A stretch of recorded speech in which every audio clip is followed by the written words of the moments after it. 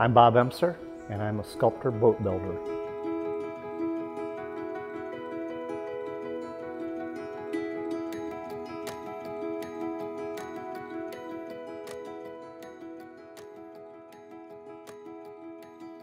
You can take something and adapt it. I mean, even Michelangelo and Monet and all of those historic figures adapted their ideas from sculptors and or painters before them. So it's actually a very long practice of artists throughout history. So one of the, the first things about the boat that I didn't like in the design was that when the, where the bow came here, it was just plain. So I've added this, this element.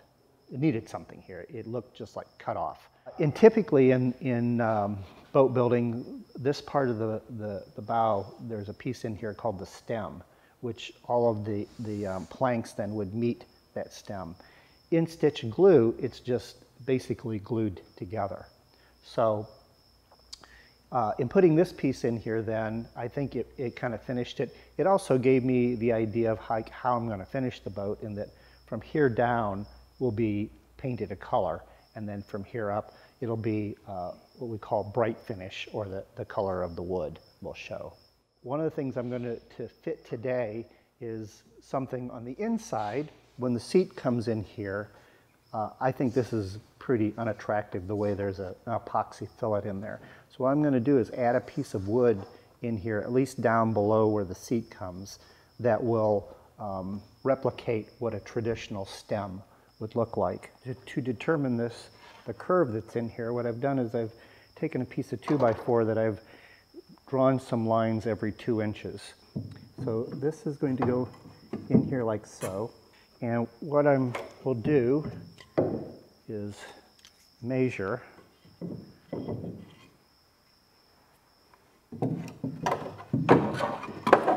where that line is over to the edge. So that's four inches. So what I've done then is I've written four inches. So each one of these I've measured how far over that is and written that number down here.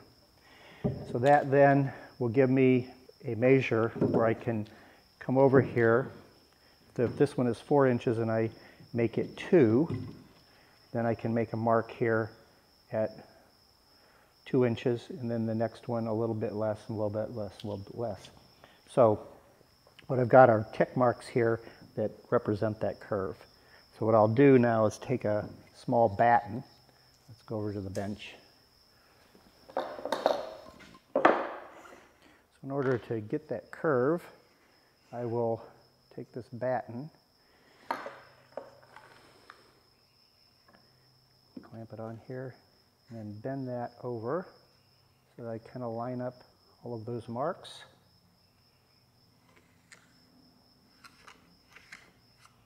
Mark it.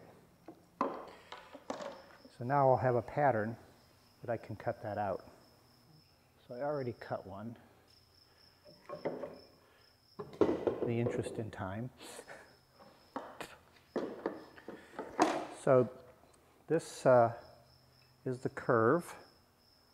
And what I have here is I took a, a couple of pieces of mahogany and laminated them together. Um, the boat is primarily mahogany, so I think that'll make, the, make it look a little better. So this um, curve then will go on here. And there's an angle at the top that I'll cut off. So then we'll take this to the bandsaw and cut it. And I want that to be about two inches wide. So about every two inches I'll come over.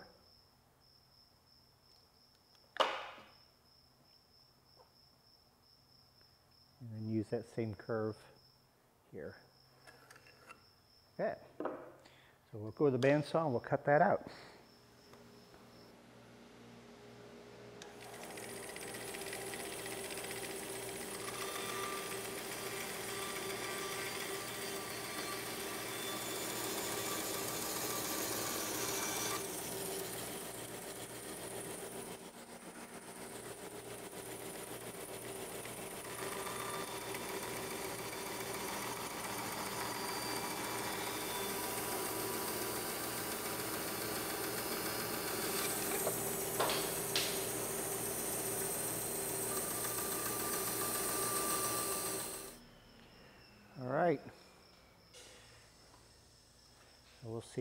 It fits.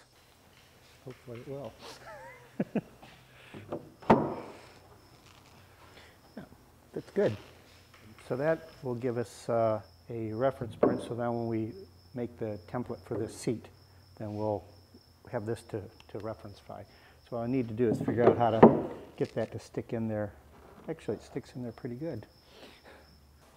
So in order to uh, design the seat here, this is a template for what the original seat looked like, and it was cut off right here. So what I would like it to do is to come up closer to the end to cover that up. So how I'm going to do that is I'll take a pair of scissors and I'll cut this off and kind of fit it in there. So what I want to do is to extend this template into here so that it comes in here a little bit so that it, uh, it doesn't just look like it's chopped off.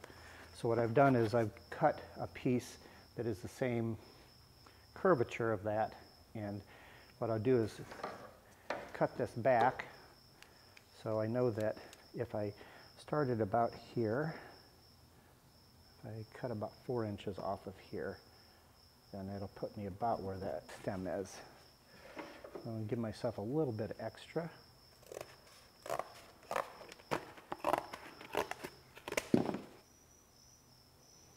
Something like that. So now I can just tape that on there and I'll have an idea of this template then. Okay, I'm take this over to the bench and fine tune it a little bit.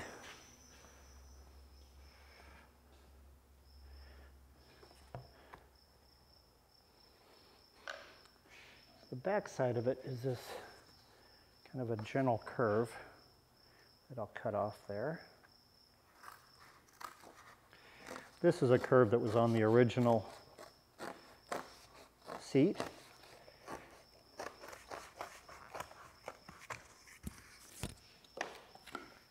So instead of being one solid piece, I would like it to make it separate pieces, which is would be a little bit more um, in keeping with a traditional uh, boat building. So if I divided it into three pieces, So it looks like I'm about a third, thirds here.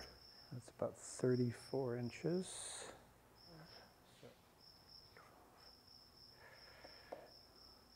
Almost exactly.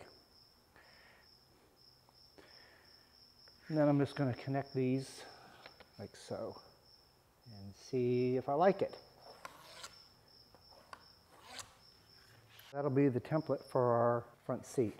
So now I guess we should cut this out.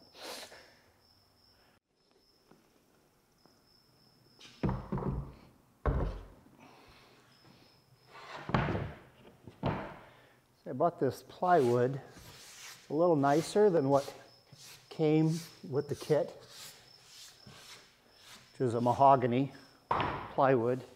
Uh, what came with it, I don't know quite what it was made of. So one of the things that I've learned in working is to have things in your shop that are all kind of the same height. So I have a couple of stools that are the same height as my sawhorse so that I'm able to use those as temporary sawhorses if I need to. So let's see if we can get this on here. Looks like we're going to have to come forward a little bit to get it all the way.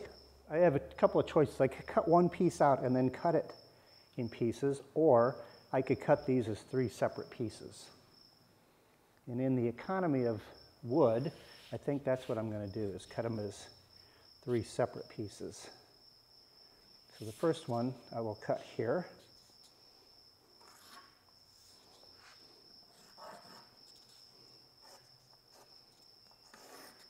And add just a little bit to the end there because I know It'll go past the stem. And mark these two lines and connect them.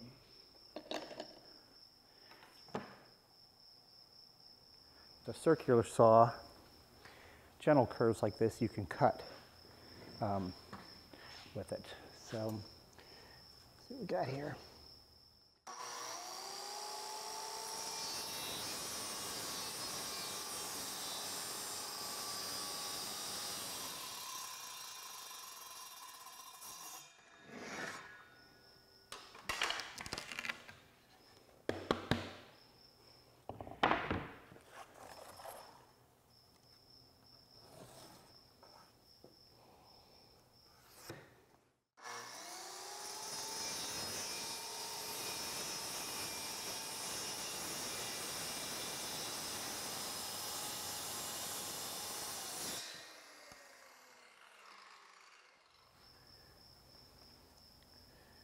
Right on. So I'm going to use it as a template then for the other one.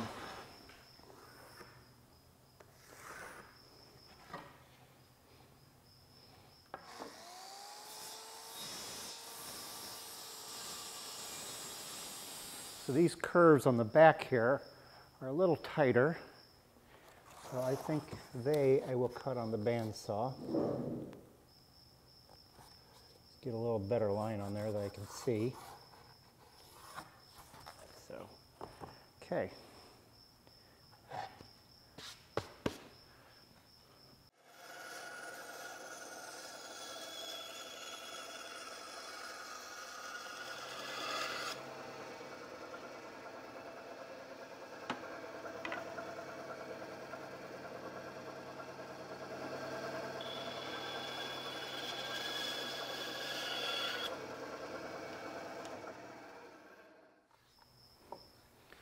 Yeah, So, let's see, be the best way to kind of temporarily put that in there, maybe with a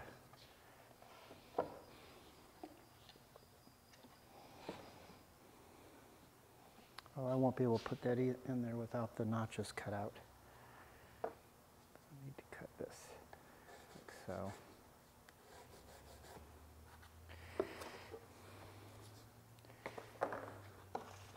I can do these at the same time.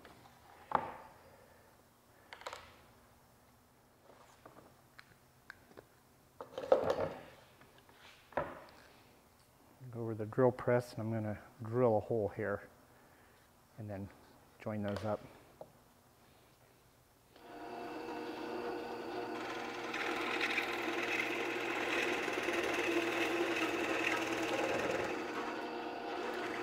These on the bandsaw.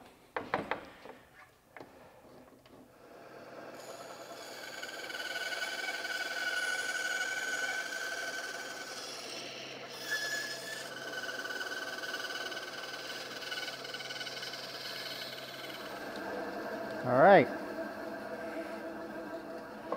Those should now match.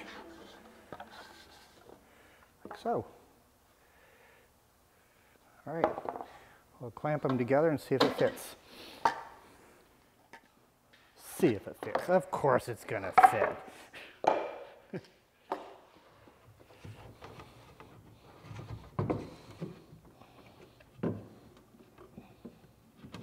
Pretty good fit.